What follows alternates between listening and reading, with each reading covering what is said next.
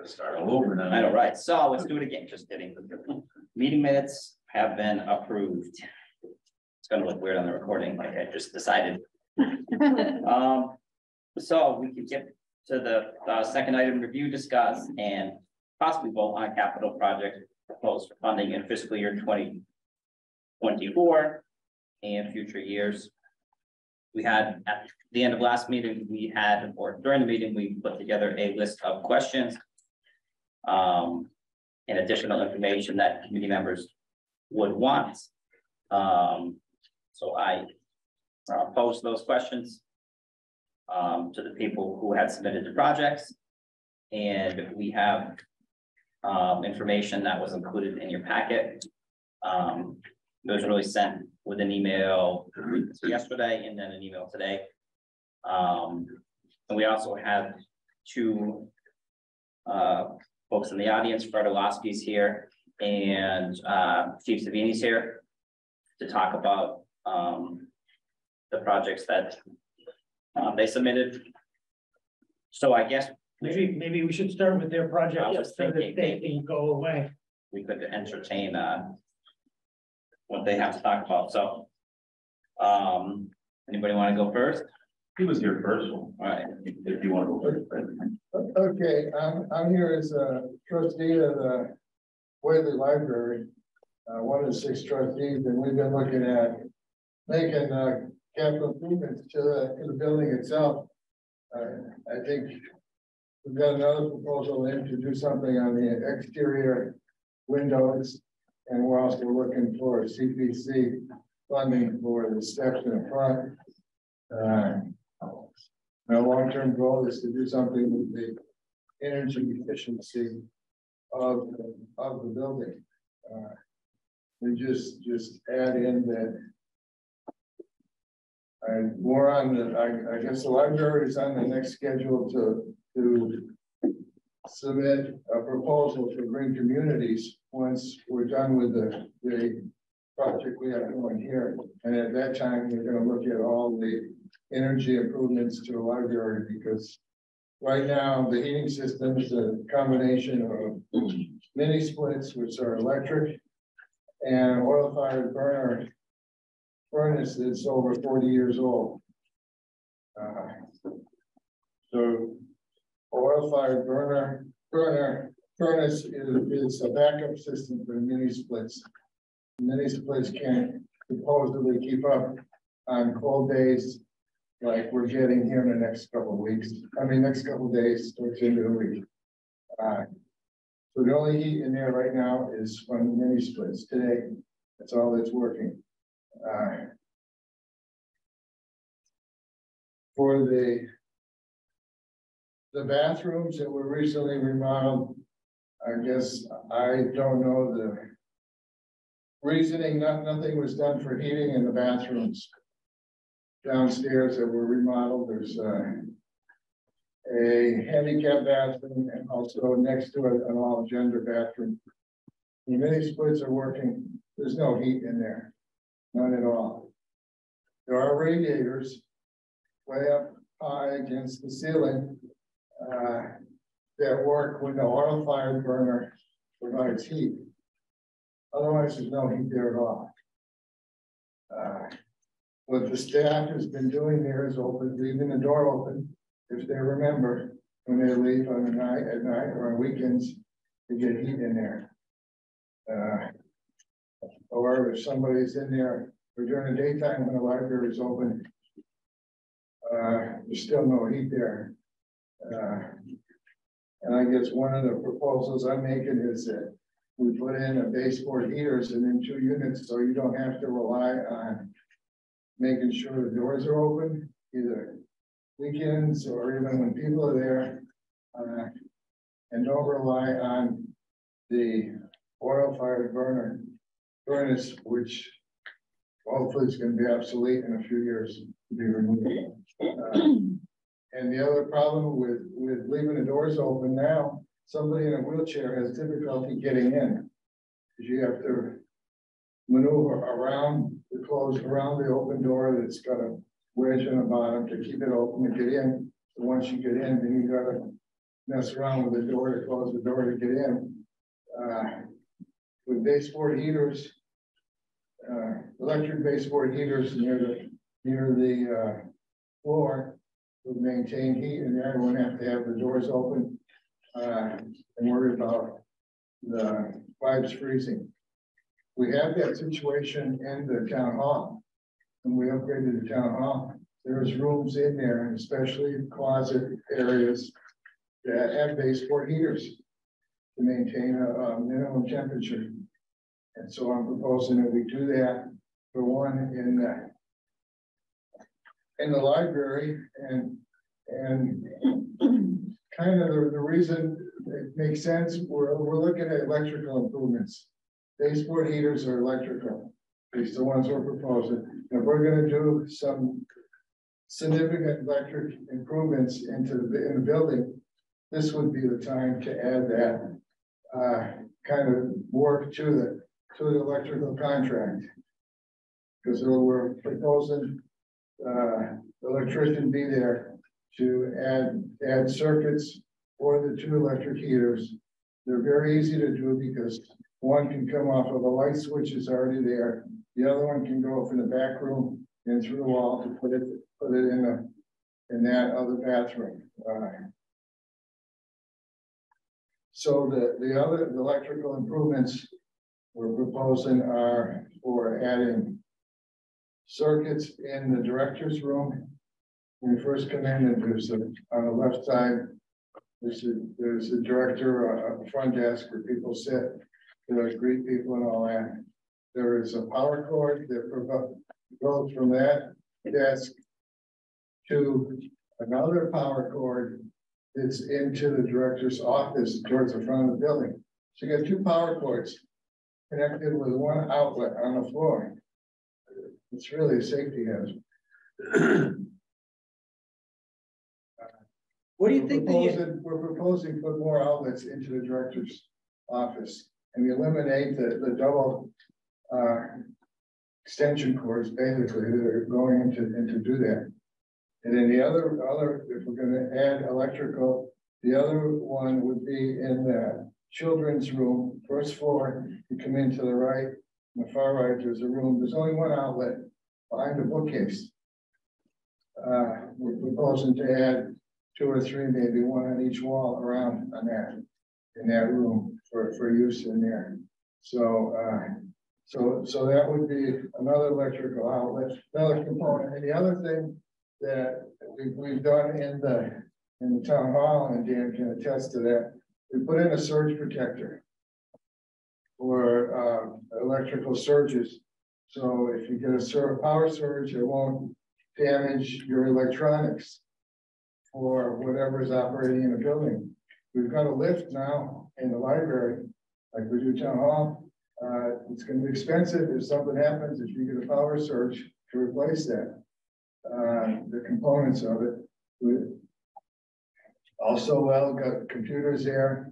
You, you have, uh, the mini splits are electric working, so if you get a power surge and that circuit doesn't work, well, you don't have heat in the building either, so we're proposing a, uh, a, a s- power surge protector for the building that would be mounted near the control panel, near the electrical panel that comes, this electrical panel where the electricity comes in from the street. Uh, it's a small unit. Know, say we have it in the town hall. I even have one in my own house. It's a small unit that fits there. It's not real expensive. Uh, so are basically the, the electric improvements that we like to see done in the, in the library. And of course, the other thing, considering if we're gonna do some electrical improvements, is to look at the on-demand hot water uh, units for, for the bathrooms and, and the kitchen area. Uh, right now, the hot water from, for the entire building, well, it's the two bathrooms, the kitchen area, and the uh, maintenance room there. Through the four locations come from a water heater that sits near the furnace. room, and I think it's about a twenty gallon, twenty gallon water heater that is eight years old. Electric water heater, that, that's what provides the, the hot water for the building. I was there the other day and and also a couple of weeks ago, you know, I could put my hand under there and I never, never had to remove it from the, from the faucet when I turned it on, just hot water. Uh, Yes, there is controls on the unit to adjust the temperature. We looked at it, it's set at the maximum you can have it for, for a public building. The state law says a, a minimum one ten up to one thirty is the maximum. But the state law requires, so even turned up at the maximum, we weren't getting enough hot water in the bathrooms.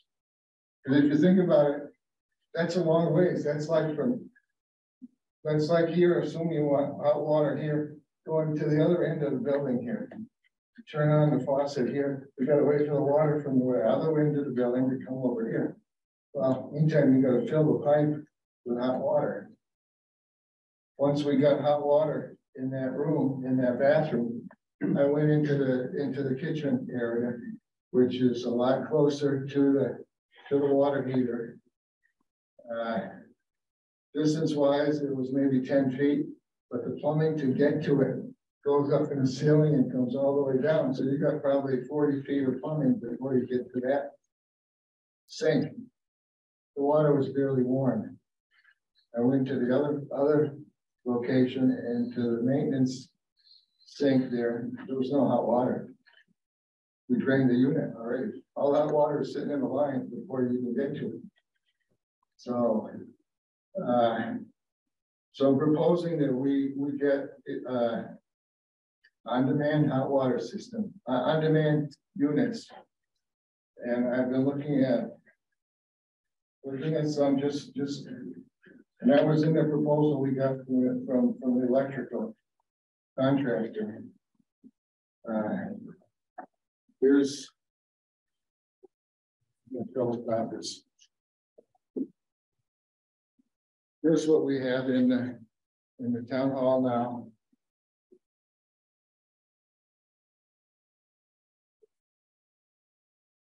You go there, look if you want, go into, into the women's bathroom, it's in the women's bathroom, well, and the, and the sink, and the, and the kitchen area.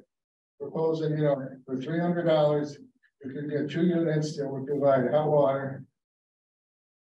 In on-demand location, uh, under each sink. Uh.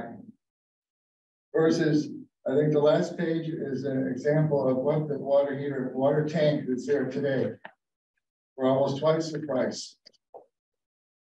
And like I say, it's eight years old.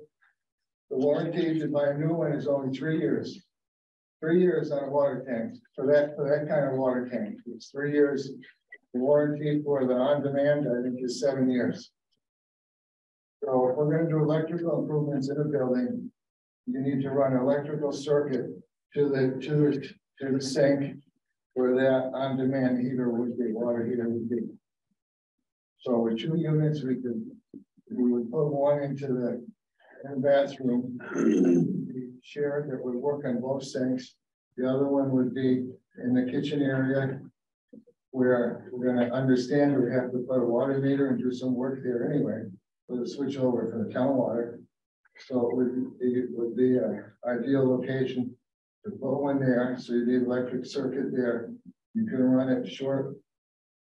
You could run it, uh, close to the, the, uh, the maintenance sink over there, move it to the other side of the door. The So sink. the Mop sink, so you. The mop sink would come off the one that's in the kitchen. Kitchen, yes, so you would have all four fixtures coming off instant hot You could water, do it with two.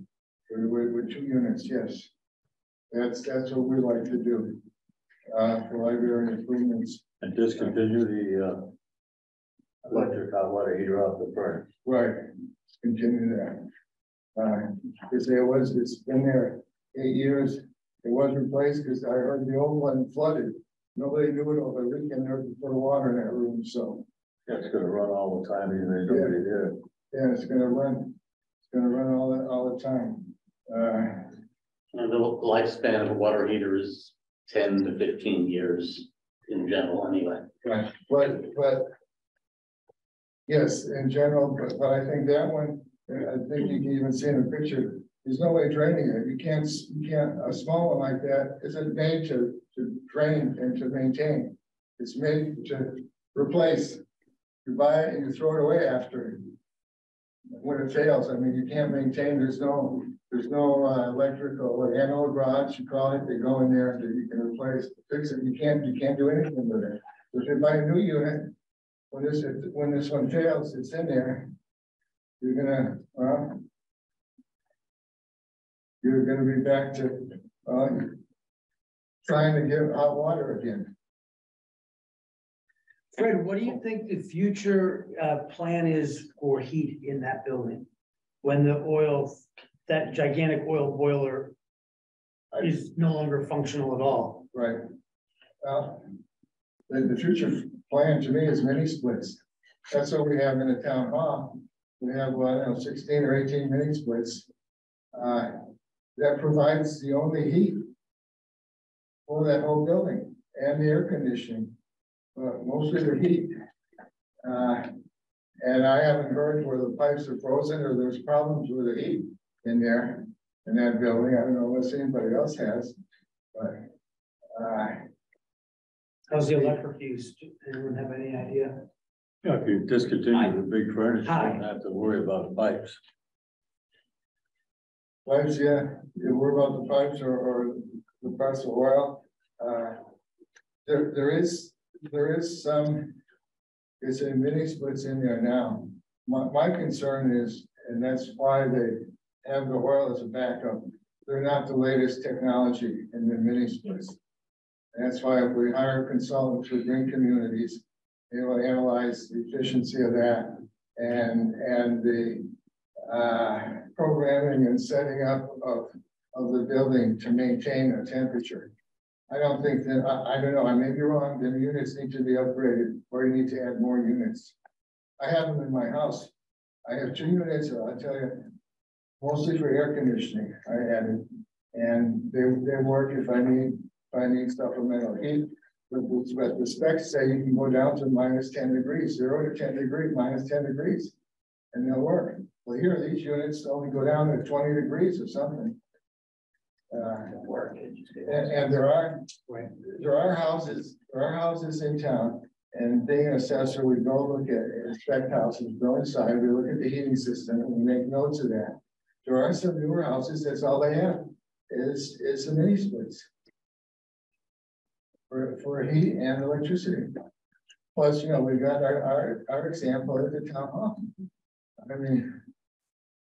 That, to me, that's the future, is to do all that, and yes, you may increase more in electricity costs. Well, it's either electricity or, or oil, and I guess who knows which is gonna be cheaper in the future, or which is gonna be around in the future. You know, if we're looking at, at, at electricity for the town buildings at reduced cost, you know, uh, you know, even if we increase our usage at the library, it still may come out cheaper. So, So does anybody have any other questions? About the proposal? I do have a question for Fred. Fred, this is Brant. Um, you, there was a note in your response to Brian about the plumbing needing upgrades. And I was a little unclear on that part. It didn't seem like plumbing upgrades were built into this proposal. So could you just elaborate on that, please? well, uh, the plumbing upgrade, well, if, we were to connect the mop sink to the kitchen, you're gonna need a, I don't know, five, ten foot run of plumbing, so that, to me, that's, that's a plumbing up, upgrade to, to do that, and, and even the, the way the uh, water system runs, runs today up in the ceilings and, and all around, uh, depending on what prices we get from a plumber here, it may be possible to put in, uh, I think it's allowed for commercial public buildings to put in PEX line, a PEX line direct from the water heater under the sink. You can go, you you have PEX go over to the mop sink And then you run another line the other way to the bathrooms. And forget about all the lines that go up and down like this through the ceilings. Yes, you may need, you may need them, okay, for the toilet, for the, for the sink and the, and the commodes, whatever, you may need that, but, but not for the heat. Just need the cold water, that's all. Yeah, just the cold water, yeah. Uh, If the, what, what do you see as the control system for the heat in the bathroom? Is that, will be on thermostat? Or the individual, each, each baseboard heater would have its own thermostat. Okay, but that would it. As long as it's on that, it wouldn't be nothing on a timer, we wouldn't have No, that, probably not, no. so that'll be running all weekend whenever the, Well, to maintain a minimum Doesn't temperature. run, what? doesn't run. Depends what you set it at. Oh, the on demand. Yeah, times. No, I'm talking about the, the, The heat. the, the heat, not the water. If you what? I'm talking about the, The- the the heater in the baseboard bathroom, heater. baseboard heater. Well, what you set the minimum temperature on, if you set it at fifty degrees, say. It won't come on until it's fifty degrees or below. Oh, yeah, but you want to set above fifty, Yeah. it's gotta be programmable to some degree, hopefully. So it's warm enough when people go in the buildings and use, but not, Right, and, and the way technology is today, you, you can do it with your smartphone, probably, if you get the right unit. in- well, as, as long as you get the right, that's what I'm saying, as long as you get the right unit. Right unit in there, or you need to change the controls in a few years, if that's standard. Change the controls, uh, but we're looking at, you know, if, if, if our proposal, my proposal here, uh. Gets approved, you know, well, we're, we're looking at end, end of this year to, to do something, well, after town meeting to get.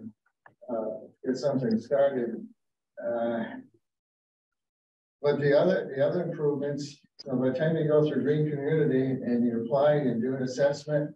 And, and you awarded a grant, we're looking two, three years from now to do anything on that. So in the meantime, our tank water heater may go in three years, well. I don't, I don't know, or we're living without heat for three years in the bathrooms. I, I. I think we need to do something sooner and once we have an electrical contractor who gave us a price, I got a bid for a price. For, for the electrical work. Uh, Well, I actually got two bids, I went, I went out with. Three contractors, local in town contractors to get that, it was more difficult to get. A uh, plumbing uh bid on that. Uh, this time of year plumbers are are busy fixing heating systems, so hard to get a a real. Definite answer, but but the. The price that I got for for the electrical, I I guess I'm confident that we could do it for that, I mean, it's it was. A good solid estimate, I know the contractors have provided it. Plumbing, you know, we'll see, but I think. uh, See what we get uh in six months from now, really, when we're looking to do it, so. Cool. Does anybody else have any other questions? No, I just want to say those baseboard heaters, even if it was turned down low, when somebody came in, they, they turned it up, it only takes a few minutes. Yeah. For, for something They're- like that. They're very responsible. Yeah, Okay, cool. Is that it? Yep. Yep. Yep. All right, shall we move on to thanks for. police? Yep. You're good. Thank you for coming in. Thank you. You gonna tase everybody? Let, let that digest a minute. Before we switch gears, that was a lot. A lot of information. You got baseboard heaters in your building, you know? At the police station? No, No. no, so out of here, Oh, yeah. out of here on propane. Whatever. All right, so. I don't really know where to start with this, but um, thanks for the opportunity to allow me to come in and talk about this. I didn't really submit a proposal. um, because literally I'm still waiting for numbers from the vendor. Um, I have. Pretty, pretty good numbers at this point. Um, I had met with Joyce and Brian last week. We were gonna talk about this a little bit, but I didn't have the numbers then, so we didn't even really, really talk about it. Um, but essentially what, what's going on is we currently, and this has been going on for, we're in our sixth year, going into our sixth year, um, with these pieces of equipment. So we currently, in the police department, we have body cams. So every officer that's working a shift has a body cam, and anytime go on a call, you turn the body cam on. Um, we also have, uh, electronic control weapons, otherwise known as tasers, You've probably heard them called as, as tasers. Uh, it's a less lethal force option. Um, so it deploys probes, and I, I brought one, the one we're looking at getting. Um, I brought one with me just to, to show you guys, if, if you haven't ever seen one, to show you the probes, show you the cartridges.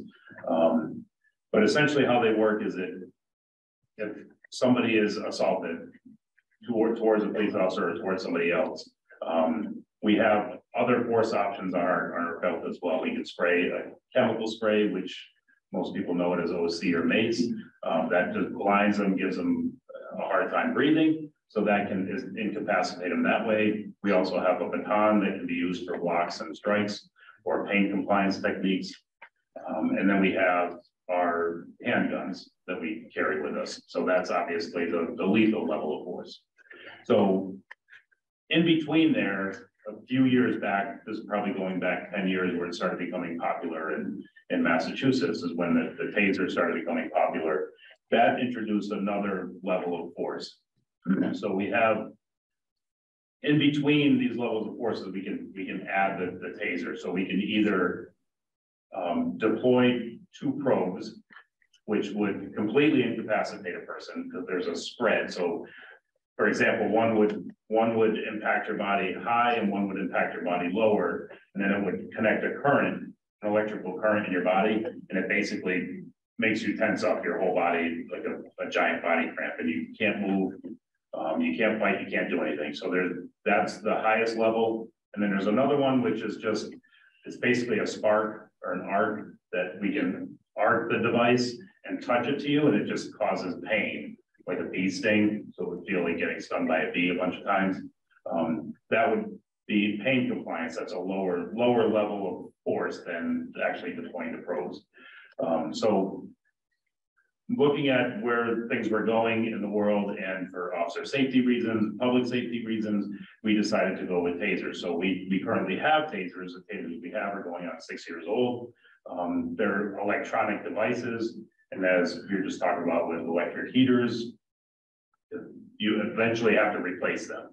Um, so they say the life expectancy before things start going wrong is about five years. Um, we're going into six years with the, the devices that we currently have. So um, we're looking at replacing the, the tasers. But the biggest component of this is the body cam. So I'll describe the body cams in a little bit, but it's what I'm looking at is a plan or a program with the same manufacturer that does body cams and tasers. So this would be a combined plan for the two two pieces of equipment together. So it's not purchasing everything separately, it's purchasing everything together in, in one, in one thing. But the body cams, obviously, I mean, anybody that's got a computer these days knows uh, the effectiveness of cameras. Uh, especially when, when you look at law enforcement, everything that we're doing is being recorded. Everything that we're doing is being recorded and then edited. Sometimes by people where they show a, a clip of what happens. So we have body cams which record the entire incident. So when we go to a scene, we turn on the camera. When we leave the scene, the camera goes off. So it's not recording all the time. It just records when we go to the scene. So it captures from the officer's perspective. And it is only the officer's perspective. So as you can see, I'm wearing our current body cam. It mounts on our chest and it faces forward. So that's the angle that you see. You don't see it from behind or from across the room. You see it from the officer's perspective. So if you ever see incidents where you have body cam and external footage, those two incidents can look completely different based on what, what type of camera that you're looking at.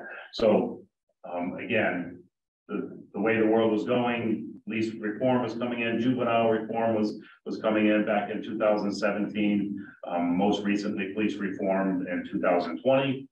It's coming into play now, and we're making all those changes. So what the police reform did for Massachusetts is it created a committee. It's the Peace Officer Standards and Training Committee. That's what POST stands for. Um, so they in turn meet with our training academies and they say, these are the requirements that police have to have for training. So you have to meet those training requirements. These are also the requirements that we have to have for use of force. These are also the, the, so they have a whole list of things that they're requirements from post C that they're giving out to the police departments that are coming down to the police departments, which are in the form of CMRs or laws that tell us what we have to do if we have a camera, if we have a taser, what they have to be. So we're essentially being told what we have to have. Um, so the biggest issue is with the cameras. So the cameras that we currently have, when you look at the regulations from post C, you look at those regulations, these cameras don't meet all of those regulations. They're, they're below standard for those regulations. We don't want to go backwards and just get rid of cameras because they, they've helped us in a lot of situations. One from, um, and a public safety issue, that's the big concern, public safety the perception of the public, we, we capture what's happening. Um, there's a, also an issue, we, we haven't had any excessive force complaints or reviews or anything like that since we've had the cameras. But what we have noticed is any other general complaints that we get um, from officers, oh, this officer was rude on a motor vehicle stop, or this officer swore at me, or this officer did this or did that. We just go back to the body cams and look at it. And I would say these, these are based on our incidents. I'm not gonna speak to the whole nation, but based on our incidents, I would say ninety-nine percent of those, those complaints, if you will, they're not, they're not even official complaints, but the ninety-nine percent of those concerns go away as soon as people find out that we have body cams.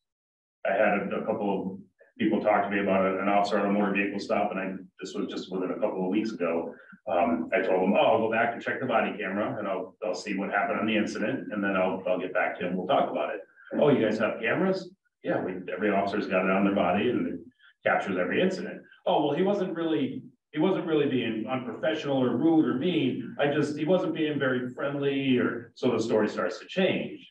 And then it turns to the point where it's like, oh, never mind, you know, I could have just been looking at it wrong. That's usually what happens from an accountability, an officer accountability perspective. We're also noticing in, in court, the last time I went to hearings, we had eight motor vehicle hearings. Out of those eight hearings, five people in those hearings denied saying something that the officer said they said, or accused the officer of lying about something.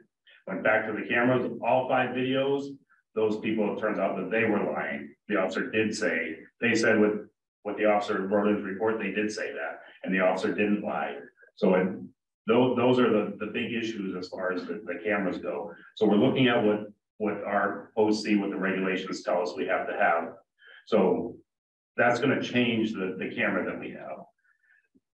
That leads to what my proposal is for, um, for a capital planning item or ARPA money or some other funding source. I'm not sure how we could fund this, but the number that I got today, um, which these are probably gonna be the best numbers to work with for the cameras and the tasers, sixty thousand dollars over a five-year period.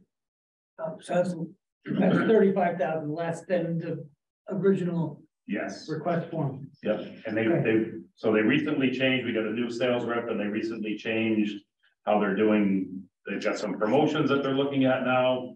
These numbers will change if, if we wait till next year, if we wait till the year after to do something, these numbers will be going up. Um, and the quote that I got, we're looking at these numbers going up incrementally.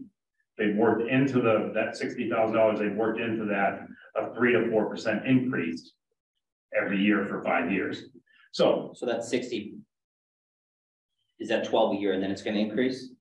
no, it's gonna, it's, it's a five-year plan. So year one, they say you have to pay this much, year two, you pay this much, year three, you pay this much. sixty K. And it, it goes up totaling sixty K over the life of the, of the, the, um, That includes the, uh, that includes just so everyone, knows, that includes the cloud storage, the software. Yep, so that's, that's what I was gonna get into next. So this isn't, what we currently do is we have, we have a laptop computer that we store our videos on. That's just a regular laptop computer with no encryption, no real security measures or anything in place. Um, it just stored on an external hard drive. And we can access the videos from that external hard drive. That's all we do with the cameras right now. Uh, with the tasers, we don't, we don't have anything that we use right now to capture data off of the, the taser. They have some proprietary software that we can download. And we plug it, we can plug them in and download some information. But with the new plan, the new subscription, I should say, um, is, so with the body cameras, it gets the cameras up to the standard that, that we're at. And I could, I mean, I could, I don't want to say for you, but I could go through each one of those things and tell you what each one is. But, um, there, there some fine point things that, that just put us out of compliance. But as far as the, the cameras go, so one of the things is the quality of the camera. These are lower, they're six years old, they're a lower quality camera. They're seven twenty resolution. The new cameras are ten eighty. Um, with the cameras, we get unlimited cloud storage. So we don't have to have the laptop with the external hard drive anymore. With that cloud storage, which is required, it's gonna be required by, by state law, there's some security, cybersecurity measures that have to be in place for that. That's all done from the vendor. They're protecting our footage, they're guaranteeing that it's gonna be there, they're guaranteeing that we're gonna have access to it. And that nobody else will be able to hack into it, all of, all the security measures will be in place, so unlimited storage. Um, we also have the software to be able to redact. So if something happened in this room, for example, and, and I've got everybody on videotape. And then there's a public record request and somebody wants to see the copy of the video.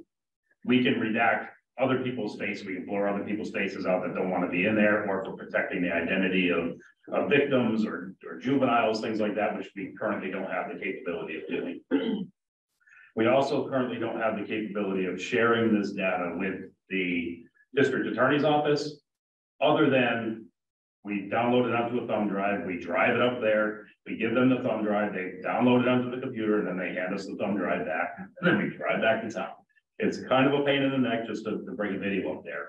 With the new software, they'll be, we can give them access or rights to send them a link for that particular video. They can log in. All they can do is log in and get the link for that video. They can download it and, and then it becomes evidence at that point. Um, so the evidence is the big issue that, that we're having because we don't have that ability to redact or edit any videos. We only have the ability to just store them on the computer. Um, so a couple of the other things that are kind of required with the new, the new CMRs is if, for instance, I, I have to draw my handgun out of the holster for whatever reason, the camera would automatically activate. We have to have a sensor that automatically recognizes when the camera or the taser comes out of the comes out of the holster, then the camera would automatically activate, would automatically turn on. If we forgot to turn it on, somebody ambushes us and we, we have to just draw our gun, it would automatically turn on. So the way the camera works is it stays on and it passively, called passively records. So it's recording all of the time, but until we hit the button, it doesn't actually mark that spot where we can go back and watch the video until we hit that button. So it's passively recording in the background. So what that gives us the ability to do, which is also a requirement with the, with the CMR, is we have to do pre-recording and post-recording. We have to pre-record at least thirty seconds before I hit the button. And after I turn it off, it has to post-record for another thirty seconds, at least thirty seconds. You can set it up to two minutes. Um, but so that's another capability because what, what's been happening is somebody turns their, their camera off and then something happens and it doesn't get caught on camera, so the, but the, the camera would post-record for a certain set amount of time. And then again, that pre-reporting, something happens, it's gonna go back thirty seconds, and that's where our recording will start, back at that thirty seconds. So there's a lot of features when it comes to um, the camera, and then how it works with the, the, the, um, the taser. So one of the other requirements is that it has to have the ability to automatically, when I stop my video, it has to automatically upload.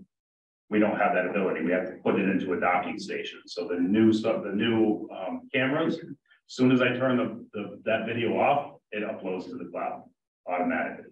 And it's, it's there. Assuming we have connectivity. Yeah, so well, as soon as you have connectivity, it would, like, if we're out West Whately and we're out in no, no service land, as soon as we get back, it'll automatically upload. Um, So we don't have to worry about putting it on a docking station, logging in, doing all that stuff, it automatically uploads. It's the same thing with the, the tasers, if I turn the taser on, it sends a message up to the cloud, it stores it as I turn my taser on. Um, if I have to activate the drive stun, which is just the arc, it, it documents that. It also documents when probes are deployed, how long it was activated for, how long it was on for. It gives us all that information and it's uploaded automatically. Um, trying to think, I don't want to miss anything as far as the, I have a couple of what's required, questions. sure. Um. So I understand that- if you have this equipment, you're required to up, you're going to be required to upgrade it, right? Correct. That, um. Sounds like regardless of the requirement, you sound pretty committed to the improvements of the. The body cams. Like you per, you as police chief are a Absolutely, fan of, of the new upgrades. a hundred, hundred percent. Okay. Hundred It's not just, we need to do this because they tell No, us we no, need no. to. This is, this is something that we, we've all been looking at. We've all been watching our officers. I mean, everybody, hundred percent of our departments on board with the taser program and the body cam program, not one complaint. Everybody's on board with it. That's not the same in other departments, but in our department, everybody's, everybody's on board with it. But we've been looking at these tasers. I've got three taser instructors um, in our department, and they've been bugging me for the last two years. Like, these things are the newest, latest, greatest. We, you gotta get these things. And they're, they're expensive. I mean, the, the tasers themselves, the the device itself is. Again, I, I, I don't have the final numbers and they don't do it like, here's how much it costs for this unit, here's how much it costs for the, the data storage for that unit. It's like, it's a program and it costs this much per month. So they're about three thousand to thirty-five hundred dollars per device. And the, the cameras themselves are about a thousand dollars. So, I mean, the, the equipment itself, the hardware, if you will, is, um. Is probably, it's a little bit less than half of the price of this, the subscription stuff. It's really, that's where the money comes in, is with all the subscription stuff. And the, the technology that goes behind it. Um, with the tasers. If we get on this program, the taser, it includes, it's five years. So within those five years, it's unlimited number of cartridges for training or for real live activated cartridges. They'll replace all of our cartridges. Right now, for me to buy cartridges for the entire department, it's gonna cost about fifteen hundred dollars. We have to do that annually anyways for training. So we're gonna be spending fifteen hundred dollars for cartridges regardless of whether we, we do this or not, because you have to, you have, we have to deploy these cartridges every year for training. Um, I just had something else that I was thinking of as far as the. I have two more, I have two more questions too. It'll, it'll, go ahead. How many times in a year does a Whately police officer use a taser in an actual, uh, non-training circumstance? So thankfully, not often. We've had to, we've had to use these in six years. We, we haven't, thankfully, we haven't had to actually deploy probes. That means, like some people would say, shooting the cartridge at them to deploy the probes. Um, because the vast majority of the people, they've either seen videos, they've seen it happen, or they've had it happen to them, and they don't want it to happen again.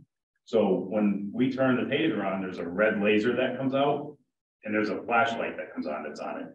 When they see that laser, ninety-nine point nine nine percent of the time, you, you gain compliance just based on that. And that's what, what we've had is either the activation of the laser, telling somebody you're about to get tased, and you turn the laser on, turn the taser on, laser comes on, they're like, okay, I comply. I give up. They, they don't want, it's a, it's a five second, we call it a five second ride, where you're being electrocuted from fifty thousand volts of electricity for five seconds. It's a deterrent. Yeah, we, we've all done it on the department, as part of our training, we've all, we've all been phased. I, I don't want it to happen again. Nobody wants it to happen again. It, it gets your attention for sure. Um, so yeah, we, I would say. Less than a dozen times we've had to use it for, the- for that effect since we've had them. But from my perspective, one time's enough. Because if I didn't, if they didn't comply with me having to activate the, the laser and the taser, that means I would have had to hit him with my baton, wrestle with him on the ground. I could have got hurt, they could have got hurt with a taser pop. They they go down to the ground, you handcuff them, five seconds later, nobody's hurt, there's no residual effect of it. The, the worst you're gonna have, and I, I can pass around a little prong too, it's kind of like a fish hook that's been straightened out. It just, it goes into your body like a half an inch, that, that's what connects the, the current. So you, you get a little pinhole that you may have a couple of drops of blood, that's the worst that, that you get from it. Um, there, there have been, unfortunately, there have been circumstances where somebody's standing on a roof and an officer will tase them and then obviously they step it up, they're gonna fall off the roof. So we have in our policies, we're not gonna tase people that are on bridges or roofs and things like that. Um, so. Well, you answered my other question, which was. Do they, do you feel like they're an effective part of, of policing And It sounds like for you, they And, are. and I, I teach defensive tactics at the, at the police academy. So all these other tools that we have, I instruct recruits on how to use these tools. Um, some departments have gotten the, the tasers, they take that other stuff off of their belt, which I'm not a big fan of, because we're trained in how to use all those other tools. Um, but they feel that the tasers are, are so effective that they don't need a baton anymore, they don't need their OC anymore. But it's an electronic device, it's a battery operated device, they could fail, something could happen, they could break, it's not gonna work hundred percent of the time, you could miss. There's a lot of things that can happen where I'd have to go to another level of force, so we still carry everything that we're trained with.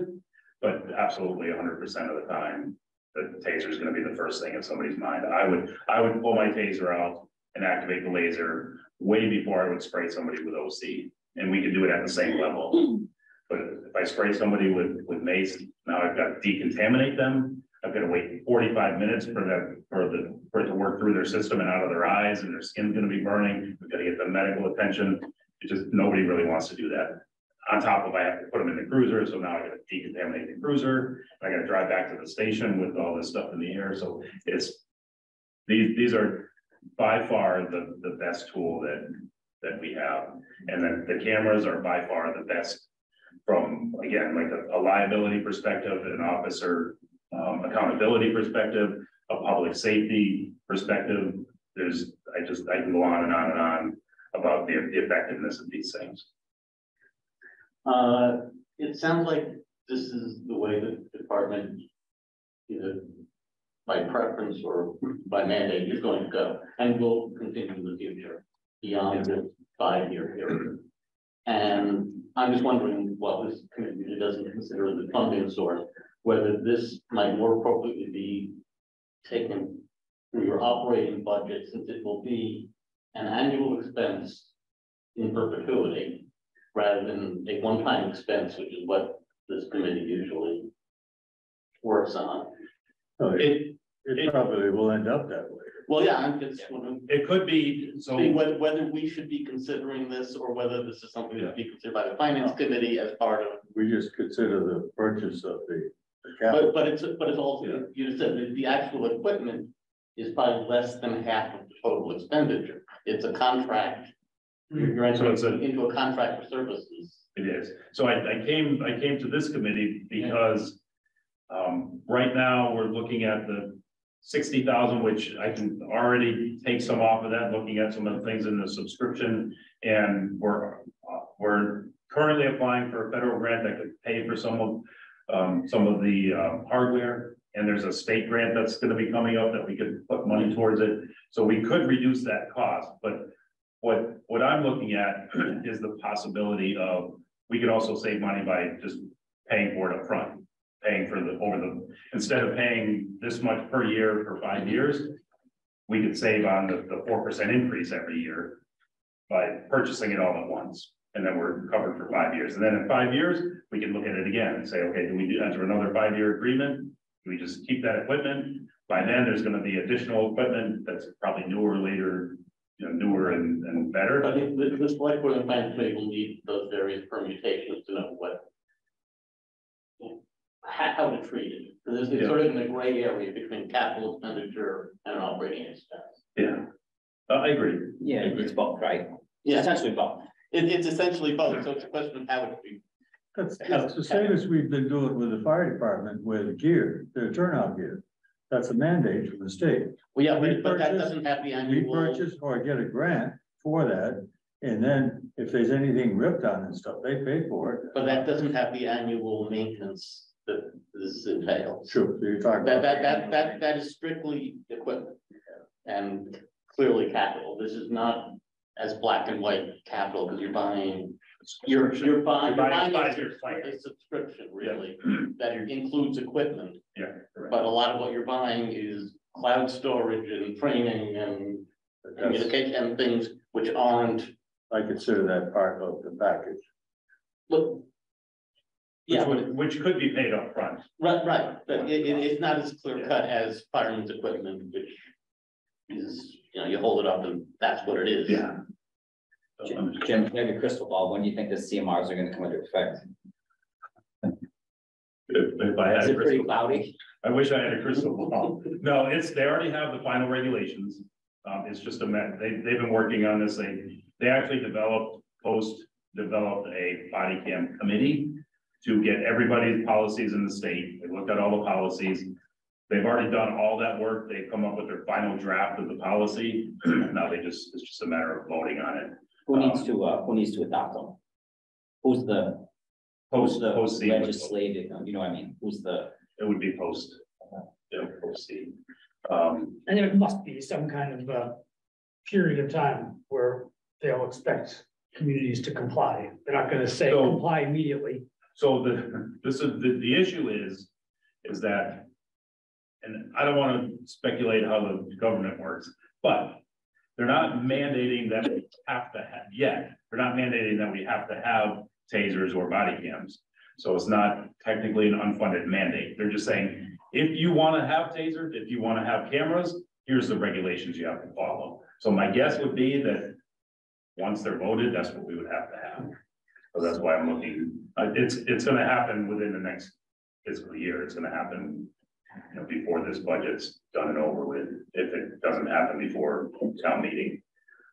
So, I agree. I think this, this all is the result of the twenty twenty. police reform bill, Yeah, yeah. So, so it's, it's, we've known it's coming down the pike. So this sixty thousand, this is the price now, and we're approving, this is for fiscal year twenty-four. So will the price still be the same? Or will we be able to lock them into that now, because it's lower than the, the ninety-five? yes, yeah, so the, the quote, the quote that I have would cover, um. I would, I would have to. I would have to check for sure um, on the, because I don't have the actual, quote. they gave me information on the, the body cams. But they didn't give me information on the, the two of them together, so I have to look at that to say for sure, but I think that's good till June. So if this gets appropriated and voted on by town meeting, we could essentially do this before this year starts. So we wouldn't have to wait for a, a budget item, for example. So. Um, But the sixty thousand is over, this over fi- a five-year period. that's, that's spread out over five Right. years. If we, if we do it in one lump sum, it's gonna be cheaper. Okay. It's gonna be cheaper than the five years. Um, also with the five-year plan, I remember the other thing I was gonna say. Um, every two and a half years, because the cameras are probably the things that get the most wear and tear. Um, every two and a half years, they send us new cameras. On that plan, so we'll get the cameras to start, two and a half years, we'll get another camera. And then at the end of the five years, that two and a half years, we get another camera. So they'll replace the camera every two and a half years as part of the, part of this plan as well. So we're essentially getting three cameras over the next five years. So they give they give you the camera at the end, so you'll keep the subscription service. Yeah, exactly. Year six. they're, they're not losing money by any means. And it's, it's the sales pitch and they, they have their, their thing and it's, it's unfortunate, but like this, this company, this WatchGuard company. They're probably gonna do the same type of thing. They're gonna come up with some subscription plan and they're gonna upgrade their software and they're gonna come out with better cameras that meet the compliance and all that stuff. This company doesn't have, they were bought out by Motorola, which is the same company that has our radios or portable radios. Um, so they don't have electronic control weapons or tasers. I don't have those. Taser is the, Axon is the, the main company, but Taser is a brand name. Um, everybody calls it a taser, but is, that's the brand name that Axon uses. So there's other companies out there, but So we're not, we're not deciding that now, though, pretty much, we're just, Deciding with, which company you're gonna go, you're not deciding right now which company you're gonna go with, because a better deal could come up between now and then for less money, in theory, in theory, I'm not saying one way or the in, other. in theory, but I, yeah, I wouldn't trust it. Well, I would think if the regs come out, then you would think that would create a mad rush for equipment that would meet the regs. Oh, it's There already, might be alternative. yeah, they're already rushing to, they're already rushing to do this. But again, we've, we've had these tasers, Axon, we've had them, they've been around for much longer than any other company. I don't want to be the first one to buy taser from Acme Taser Company and Right. find out that it, it doesn't work. but- Well, as long as, Get as long as the red laser works. Yeah, It might be, exactly. might be good almost all the time. We get, get some of those cat lasers. Yeah. You want lasers and things that go, zzz, Yeah. and see what happens. Yeah, and, and in the area, I mean, speaking from our perspective, um, what, what we've had to deal with, there's been a number of the taser deployments in, in other towns around us, Deerfield, Sunderland, Greenfield, I mean, it's, it's happened. One of, one of the times where I had my finger on the trigger, ready to pull it was, um, the Sunderland officer was getting assaulted and slammed around and beat up and I got there as his backup, and the only thing that stopped him was me turning on my taser. And he said, I'm done. So he, he fought with the, the Sunderland officer for eight minutes before I got there and gave up as soon as I hit the, the laser, so. That's somebody that's probably experienced it in the past, didn't want to experience it again, but, but yeah, it, we're, we're coming into, unfortunately, we're, we're coming into a more, more violent um, society, I mean, just people, from a law enforcement perspective, people are challenging police officers more. They're, they're getting their cameras in your face, they're doing the First Amendment audits to try to get you upset, to try to get you to react, to try to get you to, to use force on them so they can sue you, they can sue the department, they can sue the town. This is stuff that, that's happening across the nation. It's, it's, it's an unfortunate situation because there's you know, there's the vast majority of law enforcement are, are good people doing good things. And you've, you've got a, a few bad apples that are, that are causing problems and that are causing society to become more violent towards police officers. And we're, for whatever reason, we're experiencing an extreme volume of mental health cases. And there's people that have, that they didn't have tasers and this person's coming at them with a weapon and they're in a mental health crisis and they end up getting shot with a, with a gun when a taser could have solved that problem and not cost somebody their life or, or limb, so. So there's, there's many reasons, I mean, we could go on and on, and the, the good reasons and the bad reasons what they do. These, um, these pieces of equipment, but it is the. It's, it's our norm now, but it's, it's just gonna improve in the, the future, there's things that are gonna get better. Training's gonna get better, there's options, virtual reality training type of stuff, there's suits that we can get that we can shoot darts at each other without having to. Get electrocuted for five seconds, so, so that's gonna, that would be a nice, a nice feature to have as well, so we don't have to. To go through that, I have a question. sure, Uh, this has been really informative. I want to just explore this. This question of vendor lock-in, because you're talking here about a plan that involves some amount of acquisition of capital equipment and also an ongoing subscription. And I think what I want to understand is like when you get to the end of, say, a five-year subscription, what does the town own at that point if you choose not to renew your subscription or you've decided that that particular vendor is not doing everything that you wanted or there's a better vendor. So do you basically have to you know return all your cameras and tasers or do you still own some capital equipment that is has a useful life of its own beyond five years that could then be you know put under a different vendor model yeah, so after, after five years, we own the equipment. We could continue with the, with the subscription, we could start a new five-year plan, um, but after five years, it would put us right where we are now with having to, to deal with everything on our own, our own storage and our own. You know, uploads, um, nothing would be done, there would be no subscriptions after that. unless we Just- You just lose all your software. Okay. Yes, we, we lose the ability to automatically upload it to the cloud. We would have to pay for our own cloud storage or just go back to putting it on an external hard drive, but that's. I would, I would assume in five years that that's probably not gonna be an option. Okay. I, I think there's gonna be a mandate that says that You will have you're gonna have to have this level of. security for your storage. Uh, people are gonna have to have access other than, right now, I'm the only person on, on the department that has the ability to. To delete a video or download a video, edit a video to give to the, to the DA's office. Um. This would, having it as a, a cloud storage, like I said, the, the district attorney's office would have access to be able to, to get the videos and things like that, so. So it- it's not going, it's not going backwards, it's not gonna stay the same as it is now. Things are definitely gonna be changing in the future, but yeah, we would, we would own all the, the tasers and we would own all the, the cameras. And I should have mentioned that before, I apologize for not mentioning that, but that's, this plan includes five tasers and five cameras. Okay, We currently have six tasers and three cameras. Uh, we would do it five and five and then be able to have uh, two officers would share a taser, two officers would share, um, a camera. So they would essentially be issued, so we wouldn't have ten people using one device.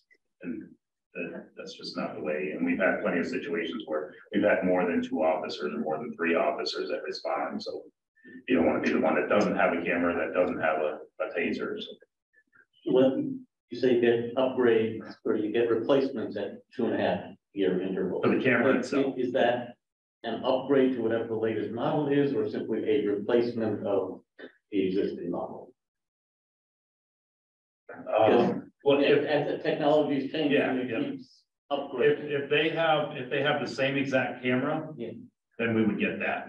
If they don't have that camera anymore, and they've upgraded, say, say it's a ten eighty camera resolution and they go to a two K camera. Then we would get that one if they, if they're not making the ten. You 1080. automatically get whatever engineering changes have been made to a product. Well, that's what I'm asking. Yeah, yeah, yeah. I mean, i- if they're making the. That's all. They wouldn't, they wouldn't set aside two of them to put in a Well, no, box. but but if, if, if. they're- Three years, They're taking two different models, you Yeah. know, a, you know, ten eighty and a two K. You know, and both are available, it's not that one has replaced the, you know, completely replaced the other. Do you get the upgraded model or do you get the existing? I, I would have to check with them, Okay, but, uh, we would get at least the, the current, well, yeah, you certainly get Yeah. to replace the question, does it yeah. automatically upgrade, is part of our problem here is that we haven't gotten upgrades that we don't have to get. Yeah, I, I wouldn't wanna assume without checking with them first, but yeah. Does the, um, the fee that you're paying, does that include if there's any damage or something needs to be replaced or repaired? Yes, yeah, that's, that's full, I mean, if, if you get into a fight with somebody and you have to tase them and you. Falls on the ground and somebody runs it over, they would mail me a new taser. Yep. I also just want to make sure I clearly understand the urgency argument here, right? So I hear urgency of this acquisition driven by this new subscription model offers a lot of valuable features that are so useful that by not having them, you're really at a disadvantage. So it's kind of urgent to be able to get access to those new features. So that's one aspect. I also thought I heard you suggesting that existing equipment in the form of existing owned body cams, existing owned tasers are at about their end of life. You might be able to extend those, the life of those somewhat longer, but um, but but really, I just want to make sure I've fully and completely understood the, the key points for the ur- oh, and also urgency driven by costs are going up. So let's jump on the opportunity now. So I want to make sure I've heard all the key points about urgency. Yes, and just to add one thing, the, the compliance issue, that once, once this is voted on, once it becomes a CMR, then our current devices would be out of compliance. Right, So That's the, that's the, the third, third urgency issue. But you don't know when that's going to happen. We don't, we don't have, it It could, they could vote on it this month, they could vote on it in three months. We, we don't know when it's gonna happen. All we have is the final draft of the CMRs that they sent out saying, this is what we're gonna be voting on, it's just a matter of when, when they voted on it. It's not far away. It, it will, it will be soon. Okay, We're not gonna wait on something like this for, for two years or even another year. It's, it's gonna It's gonna happen. Shortly. a short period of time. Are there, are there any other questions? No. The- I have, I brought the, the taser and the camera, if anybody wants to just Thanks, look at it. The taser doesn't have a battery in it, it doesn't have any cartridges, so it doesn't turn on. It's just, it's just a piece of plastic. Sorry, Grant, I can hold it up to the camera, but. Where are the uh, little prongies? I- at least I have- you're not gonna be able to tase me from here. The, so this is the. This is the, the cartridge that it would shoot. So essentially how it works is if this is pointed in this direction. One probe, this is the probe, one probe is gonna come out straight and one's gonna come down at an angle. So you get a spread. And that's where if I hit you in the leg and I hit you in the chest, that gives the widest spread. It's the most effectiveness of, of the, of the uh, taser. If they're super close together, you get less effectiveness. If they're only a few inches together or a few inches apart, you get less effectiveness. You want a larger spread. So you notice that there's, there's an angle. One goes straight, one points down. So this, this doesn't have any probes in it. This is just what the cartridge would look like. So that's not gonna hurt anybody. This, just be careful with this. I can send this around too. This is what will come out. And there's a little string, which is gonna be the, the actual wire. Keep it pocket. So, okay, so this is, this is what it would, would look like if you, if you hold it by that, then you won't. Just don't touch the pointy end. Like my What wallet. is that? That's what sticks in That's your. the probe, yep, so that, that shoots out, shoot out, shoot out at the four hundred feet per second, load, load it to this, and it sticks into your skin, And it yeah. goes through clothing and jackets. It does, yeah. So how do I jump if someone's gonna shoot one like that? Do you jump? Do you dive? You do. Has, has anybody, has anybody ever done paintball or seen paintball? You shoot like a little plastic ball filled with paint. Um, these come out faster than a, a paintball, so there's no way of ducking them. So you you gotta, you gotta anticipate Yeah, you gotta anticipate. Just zigzag. But they have limited range. Yeah, so, so the, so we have two, two cartridges, Yeah, keep backing up. two, two cartridges that are available for the new device. We only have one cartridge that's available for the device that we currently use. It's a twenty-five foot range. Um, the new devices, you can put a twenty-five foot cartridge, or you can put a three and a half foot cartridge. So there's two different cartridges. One's, we call it close quarters, because they found that ninety percent of. So when this, when this first came out, okay, we're gonna be 15, 20 feet away, that's how far away we're gonna hit you with this, we get the proper spread. But they realize that if you are fighting with somebody, that happens within three feet. So trying to get a spread from our current taser at three feet just doesn't happen. So it's not effective, it's not gonna stop the person. So they created a cartridge that's designed for three feet is the, the maximum spread that you would get. So we could, we could discharge it from three feet away and it would have the same effectiveness as our twenty-five foot. It would have the same spread, it's just a bigger, a bigger angle.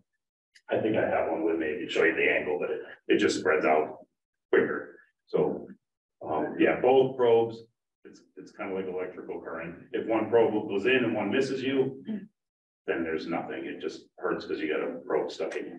It- You don't get the, the incapacitation, so you need both probes to, to stick in in order for it to, to work. I think the answer is we want to try to get horizontal, so to avoid it. Yeah. That's part of our training, but a, a, um, part of our training accounts for that. Turn the taser the other way and then, yeah, covers covers the horizontal. And the, I mean, the features for the device, there's so many improvements to it, like right now with the device that I have. We call it a drive stun, which is just the arc that I can put into your leg to give you those bee stings. Um, in order to do that, I have to take the cartridge off of the taser and then I can do that. Uh, with this one, I can leave the cartridges in.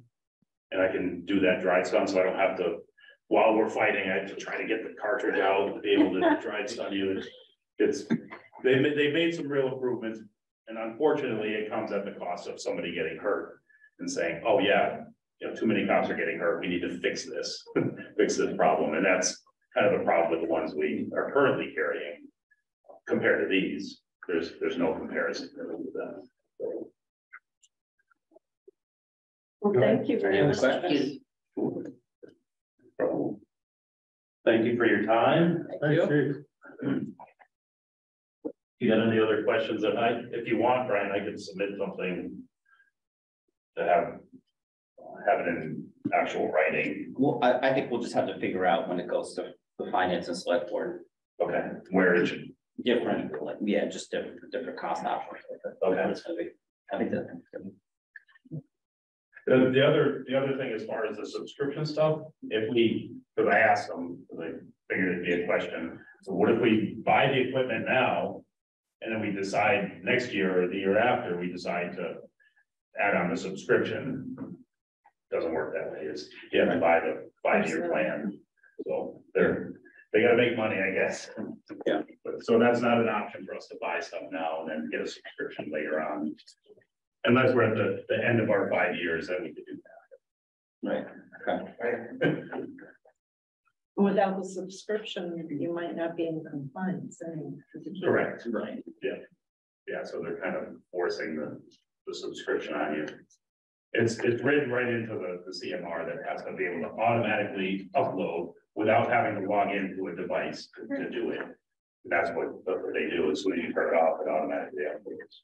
So you're paying, I think it's an LTE connection, like a cell phone connection, so it can send the signal up to the cloud. Mm-hmm. Yeah. There's definitely costs associated with it. Thank you. Thank you. So how do we wanna, um, how does the committee wanna proceed? Um, so we have, in terms of reviewing the other projects. We have the additional information. I know there was a request to do a, a, a site visit at the school that hasn't happened yet. I wanted to make sure that we actually had a, a good grasp as to what the project would be and have the answers before, you know, made that visit. I don't know if we feel that that visit should happen before voting or after voting, or if we want to talk about other projects. I'm not sure how everybody wants to go about this. I'm assuming we're gonna prioritize projects in the past, like we have according to the criteria that the, the committee adopted in the past. If that's, if that assumption is wrong, then we should talk about that. Um, but, Thank you again. Thank yeah, you. yeah, Good night. um, how do we want to move forward? I think we can talk about everything, just put schools aside for now, since we haven't done the visit. I do feel that visit to the school would be really useful. It, it really might. I mean, it, it does feel like we can do voting on, and discussion, voting and priority, prioritizing of other projects and then finish off with the school. I don't believe or recall that we kind of need to have our heads around all the projects and sort of calibrate our expectations. I mean, we could even just, you know, given that we just heard about two projects, we could prioritize those and then go on for as much time as we have tonight. That how we want to do it? I'm, Sounds good. I'm with whatever. Yeah, that sounds fine. Um, do we want to start with those projects? Or do we go down the list, or what do we want to do? Well, the projects we just heard today are fresh in our minds, so why don't right. we just do those? Library electrical system safety and plumbing upgrades. Thirteen thousand five ninety-five. Um, do people have the project prioritization criteria? I can copy these if we need them. Um. In the past, I think it's kind of been a, a melee, someone shouts out something and then everybody jumps on them and tells them why they're wrong and then. uh, All right, well, I'm happy to be the one that everyone tells me I'm wrong. I'm hearing for the, for the, well, for both of the lib, well, we only heard about really the electrical system safety and plumbing upgrades. I did hear an A-level prior urgency for the electrical system safety and plumbing upgrades. I heard about um, safety hazards due to use of extension cords and so forth. Um, I heard urgency associated with, you know, we've renovated these bathrooms and an accessible bathroom to boot, but they're like wicked cold because there's no heating. Um, I mean, uh, move to elect, el- electrifying, I think, is maybe a little bit more B level. I heard enough in the case for urgency that that's where I would put at least the electrical system safety and plumbing upgrades project.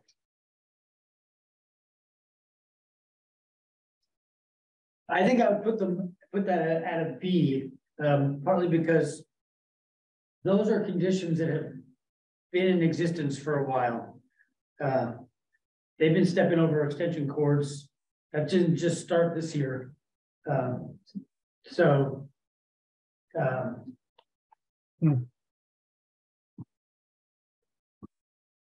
That doesn't make them safe. Doesn't make them safe, but it wasn't safe last year, I mean, you know, it wasn't on anyone's radar. So important, but not necessarily urgent. I guess that's what I think, yeah.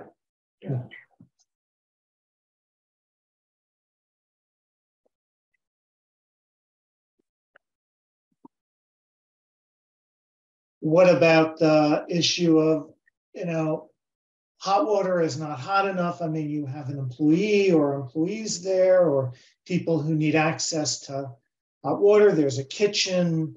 Um, you know, you know, I hear the point like, well, you know, they've lived with it for this many years, so it can't be that urgent, right? But on the other hand, it's just maybe it's reached an intolerable level where it now, com- compared to all the other things that we've invested in Nicholas in the library, this wasn't as urgent as those other things. And now this is really rising up there. And there is, there is a health issue with not having hot water. You need hot water to like clean dishes properly and wash your hands and all that. So if the water is really that low, that tepid, that's a problem. And it seems like in this day and age. yeah, Like, Right. It's not gonna help Surprising that they don't You can't wash your hands. I'm hearing more A's than B's. I, I am more inclined to say A. Yeah, You go with that? yeah. I'm good with that. All right, that's fine. Uh, police,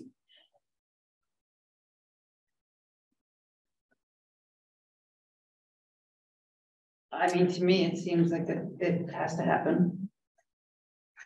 If I understood all that. Yeah, that sounds, sounds like it's happening. My only question is whether that's him, is whether it's something that we consider as capital.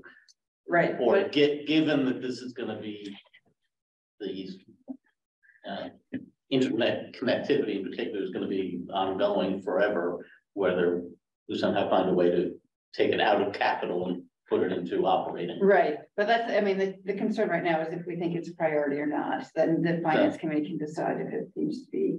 I, I would say it's a, it's a priority because it's gonna be a mandate sooner Yeah. rather than later Yeah, in any that's- case. That's the way I feel, yeah, so that's gonna be an A. yeah. I was leaning towards A as well, just because, you know, even all of the, well, all of those additional features in this day and age, I mean, the absence of, I mean, I, now I start to worry like, wow, in the current system, they've just got this laptop, it's not secured. They have to apparently get chips off of these cameras periodically or dock them to upload the video. I mean, it's just like there seems to be all kinds of opportunities for loss of data.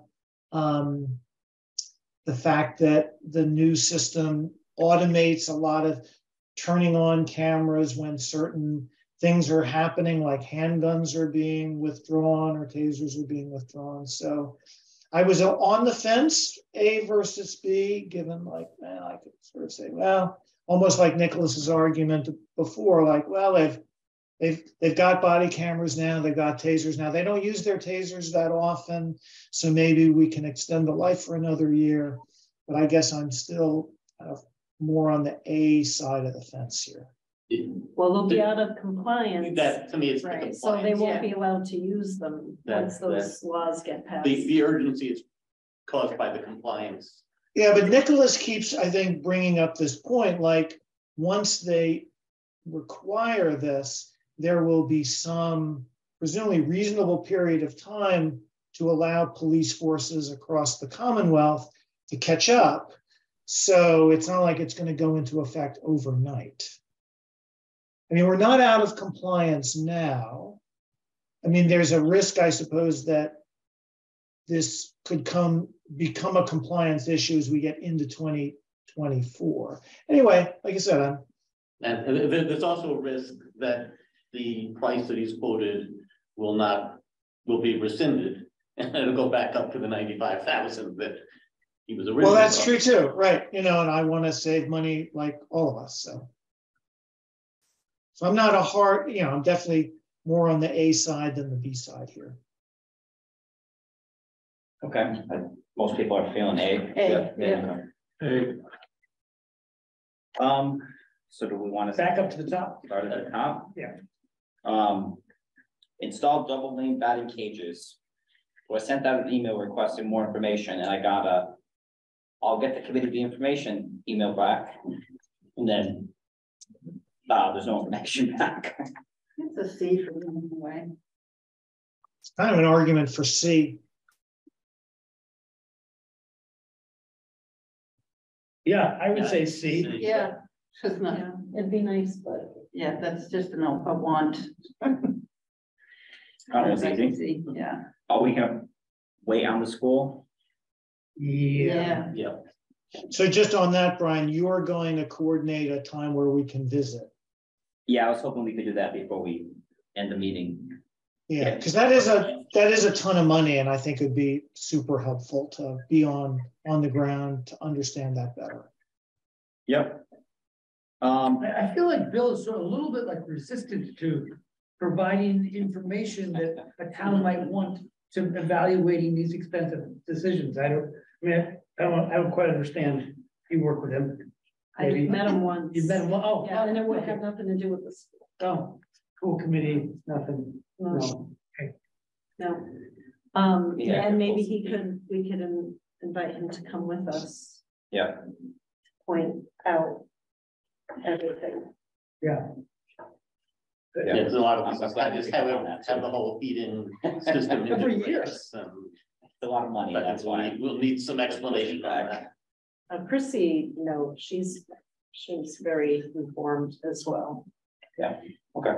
the principal. Okay, Uh, library window, uh, and chimney repair restoration. But what about the flooring? Flooring for the, oh, the elementary school flooring is also wrapped up in the air conditioning. We're gonna put all that aside for now. Yeah. right. Yes. I, I would say that in A, the library, the window repairs.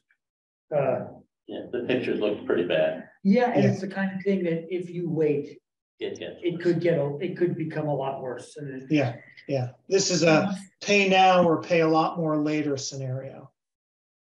It's one of the least expensive, it is the least expensive item on the list. So is that A? yeah. Yes.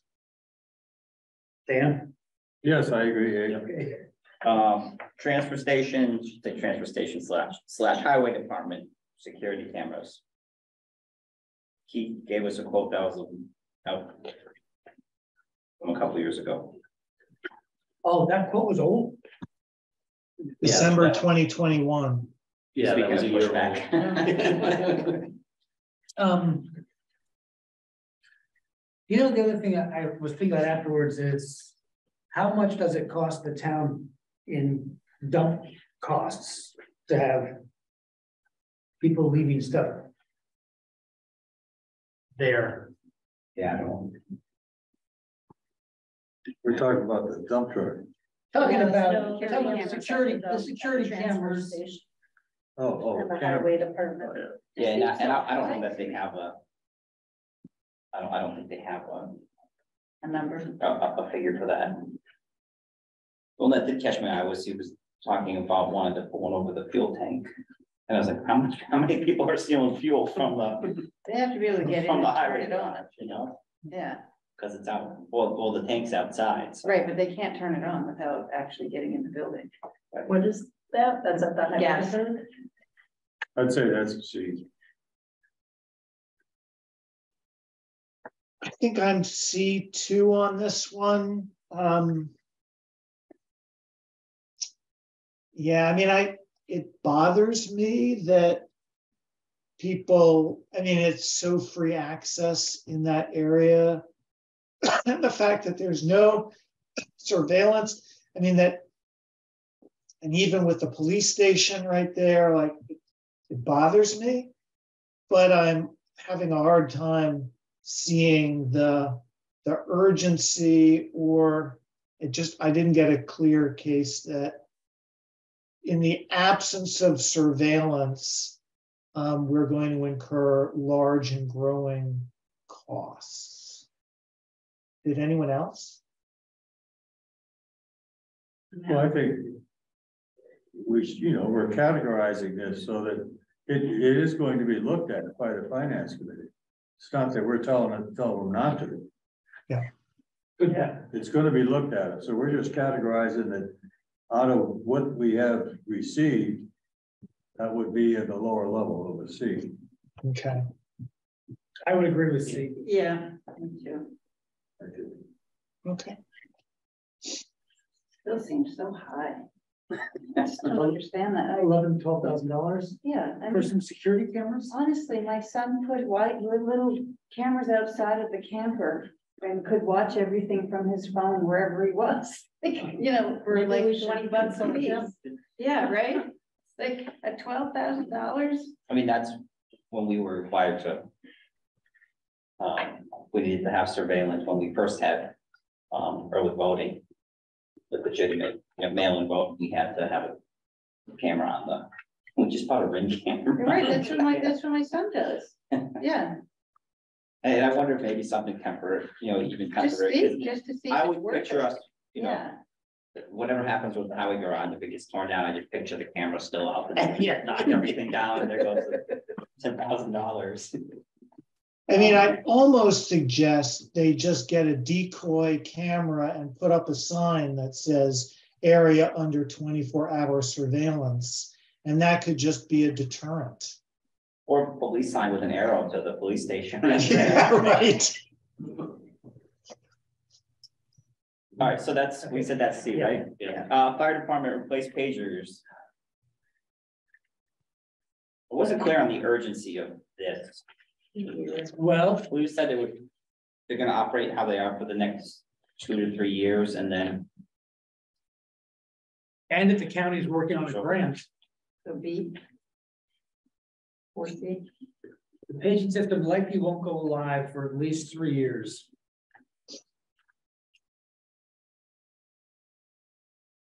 It won't go live for three years? The new, the new system, I think, and I, I, my understanding is when the new system goes live, the old system will no longer function. Right. Yeah. So, So when he says to replace the pagers because the new radio system makes them obsolete, there, this new radio system isn't going live for three years. three years. Okay. That seems like a B. Like, I think the pager system, I think they're separate. Oh. So my understanding is that the, the pager system is operating off the old I think- regional, uh, I think they need the pagers, let's see, the idea that, uh. The implementation of this whole eight hundred frequency is going a little slower than they expected. But the funds. Like when we started with it, you, you gotta go for the funds when they're first available. Right. I mean, they are going to need to replace the pagers. It's just a question of when, right? And even if money was appropriated. Not gonna. So it sounds like there's a C emerging consensus. I would be more inclined, I think, to a B. that's where I am. Yeah, I think it'd be, Yeah. It needs to happen, but it's not urgent. Sounds like B Yeah, is. I like right B. Here. Yeah. yeah, and it also needs to be seen how much money, whether that grant will come through. B sounds good. B it is. Highway Department. Replace. Two thousand eight F five fifty.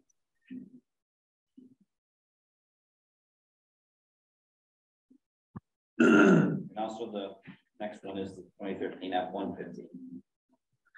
We want to take these together as separate. Right. Let's put it in there, uh, and let them decide if they want to defer it. I think, uh. The way capital looks, we.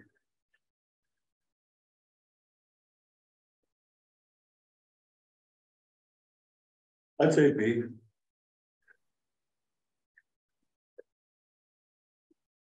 Can't keep going without. them.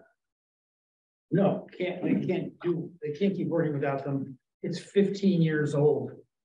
I think we put this off for last year. Yeah. Yeah, one of these was, That's why I don't like bumping them, because every time you bump them, now we got a pickup that's due too. Oh, that's kind of the, the danger we run into is. We push things and then we get off schedule, but. But I don't know that that's necessarily control the day. I, I don't know that the dump truck, the fifteen year old dump truck is on a schedule anyway at this point. Well, I think, I think he sort of has a. In his, in his thought process and his planning process.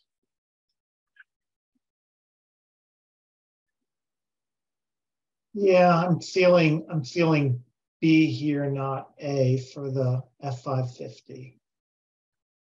I would say it's an, I would go for A because, only because we put it off last year. We just can't keep pushing it back every year. And then there comes a time to say, we gotta do this. And wasn't there, like, what I seem to remember is that last year. There was some question about how that was gonna be financed. Did we make it a B last year or an A? Oh, yeah, you know, This, I remember we had this ninety-four thousand dollars. we had a. B to B last year. And so Fred thinks a year, uh, with a year past, that raises it to an A.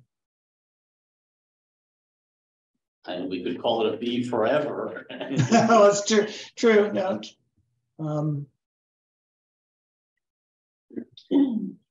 I mean, it says it has been operating for, you know, many, many hours, It describes it as being in fair condition.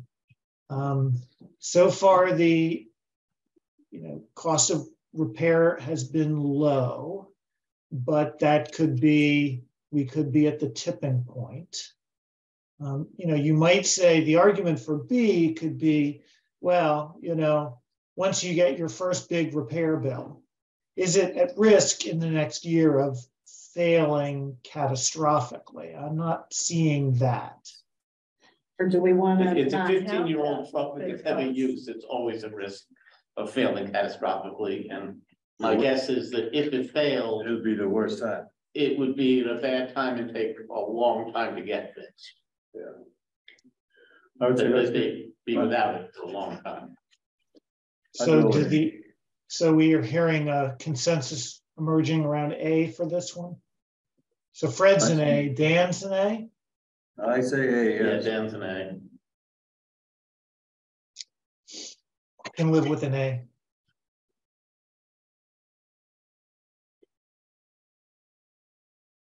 We have an even number of committee members, so. this is not I'd say. Yeah, we'll go with A. Okay. That's That consensus for around the A. dump truck. That's for the dump truck, yeah. it- That's, yeah, the small dump truck, right? Yeah, five with it. Now the truck that's in worse condition, the twenty thirteen F one fifty. That's what I was thinking. The next one is in worse condition. Yeah, But then, like, how many more vehicles behind that are gonna keep coming towards us that need to be replaced? Like, Well, if we keep up with That's what we have to get ahead of schedule, them, it's right? every five years. yeah, Well, if we keep, yeah, yeah, if we keep funding the vehicle stabilization funds, at least some of the money will come out of that. Right. So. Just to back up, last year we put that as a B and finance committee just appropriated nothing for it. They, def- I think I saw somewhere it was deferred. Keith, uh, I think he suggested that it not be funded that year. because it wasn't good enough condition. I see. If you want, the tractor was a higher, Got it. Thank you. Priority. the tractor was a I higher knew- priority. Okay. Yeah, the, yeah, last year we had the tractor up. It was twenty years old. Right. So this, this, the, the game plan here is to purchase an electric hybrid. He, Keith does write that, um, you know, the whole additional money, he says, you know, we'll also need to provide money for charging agreements and so forth. So I'm a little cloudy on where that comes from, but it sounds like the main argument is commit to buying this. It's going to take a while due to supply issues to actually get it. And that gives us some running room to dot these other i's and cross these t's. That, is that what others are hearing? I think that's true, and I think that the charging issue, I mean, the infrastructure for charging, I don't think is all that expensive. I think Yeah. the complicated thing is the thing he keeps bringing up is that he brings that home every night, and that's when it needs to be charged. And so how it, is he and all the other department heads bringing home their trucks? How's that gonna be straightened out with the towns? Oh, yeah. But as far as total cost, the thing will be cheaper to operate than, than a gas powered vehicle.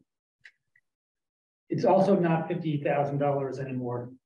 Ford is, it keeps raising their price every six months. It's fifty-five for their cheapest model. Mhm. And uh, there's a waiting list still like a year. I, I, I, have, They. I, I've been on it since June of twenty twenty-two. And I'm driving, uh, Toyota Tacoma. So, uh, yeah, they haven't offered me a, a vehicle yet. They said hopefully in twenty twenty-three. For F one fifty? Yeah, for the lightning, this exact truck. Jeez. I think all, all, all the more reason to make it a priority, get on the list. Get on the list, and I think it's all ramping up. I mean, they are, they are appearing. There's, they're on the street all of a sudden. And they haven't been up until last month or so, so. And we'll just have to work out the issues of taking it home and charging. I mean, by the time we get it, Keith won't be the highway superintendent, so. Alright. I look at it this way. Highway department's gonna be out in full force when we have a storm. The storm's gonna mean power outage. Now, you're not gonna take it home and charge it because you don't got no power. Right. I wouldn't be in a rush to go electric with our vehicles that are needed for safety. That should be backseat. Well, the places that would have those vehicles would, in theory, have backup generators anyway, they would provide the power. That's. Hmm. We What got this backup generators for enough buildings. Gonna now. get a turn. It's a pickup. Generator. F one. Anyways, And it's um, just Keith's truck, right, to get, like, what is he? No, I just just counted. I've been using it all day long. right, let's, let's do figure out kind of going. Just get from place to place? Yeah, driver, it's Okay. like, yeah, it's often just like. Somebody's in it going to get another piece of equipment, or swap their, or they're putting in the, the snow stakes or. Yeah. Yeah, but it's usually driven around town, it's not driven out of long distances, so overnight charge will usually take care of it. I think we should go with an A on this also. Yeah, I agree. A, Yeah. I think so too. Okay.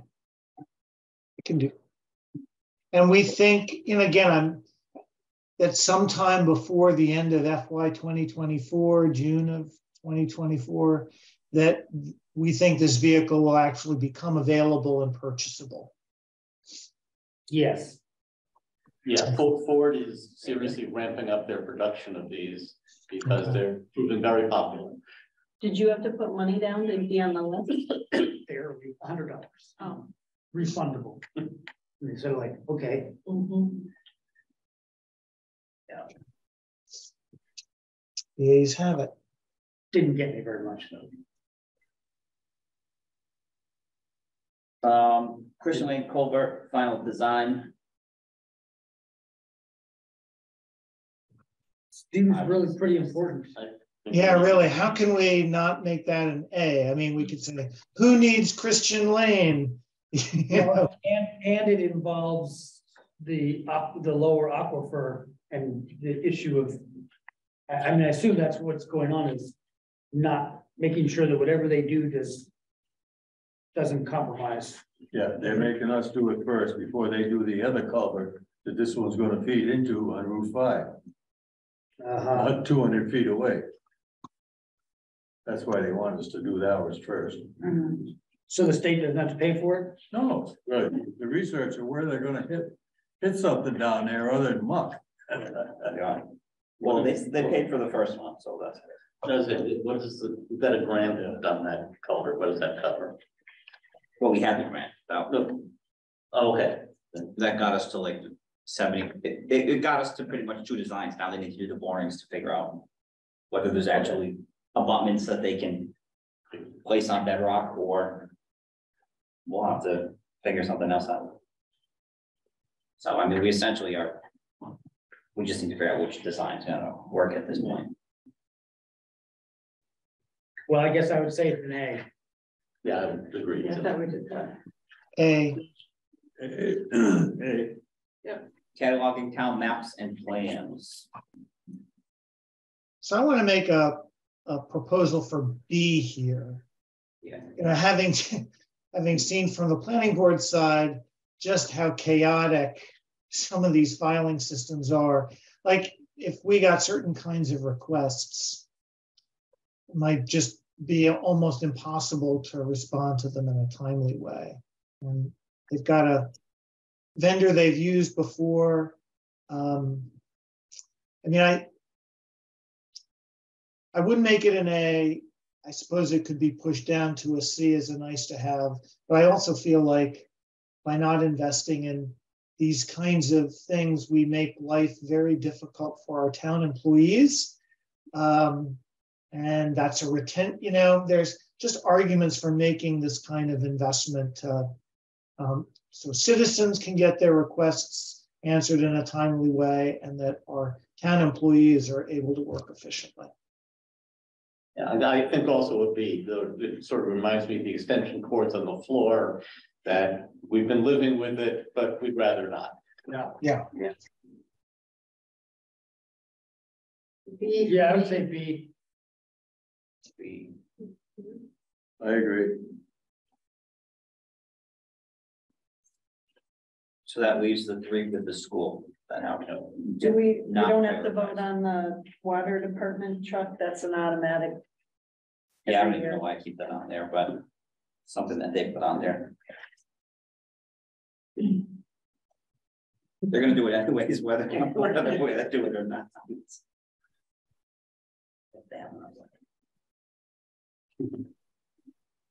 Oh, schedule.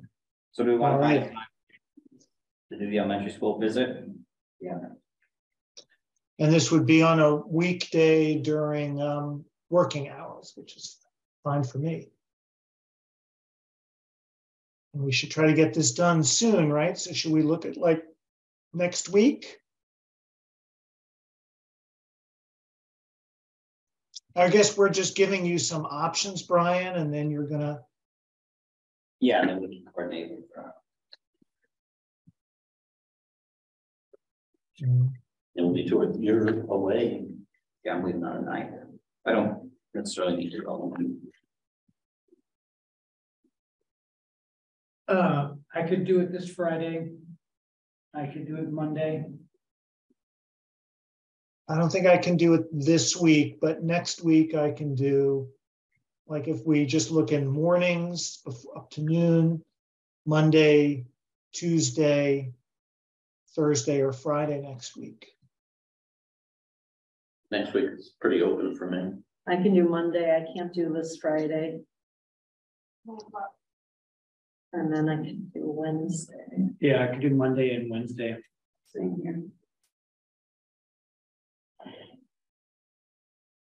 Monday and Wednesday, Mhm. the sixth or the eighth. So, Time, so what was the consensus there? I was just getting input from a higher power. Uh, sixth or the eighth. Does that work? Yeah. Haven't talked about it. Trickier for me on the eighth, if, but if we, so I can, I can move things around. So yeah, I'm open on Monday, the sixth till noon and Wednesday, the eighth till noon.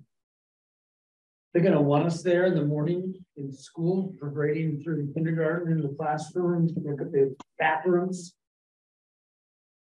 Or we wanna, I think they'll be fine. that'll be all right. I think so, right? I generally haven't had. Um, You any can problems. access those bathrooms from the outside. um, The, the side door between kindergarten and pre-K.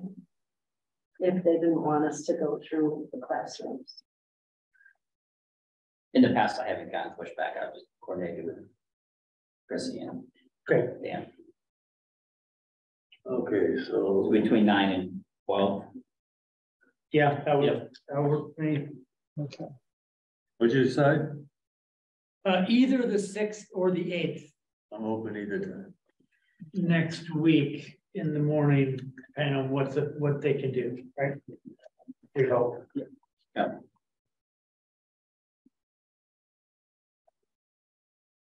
All right. And are you, you're gonna, are you gonna email Bill? Yeah, I'll, I'll email Bill, Chrissy. Yeah. And I'll CC you on it. don't worry. so should we also pick a final decision meeting?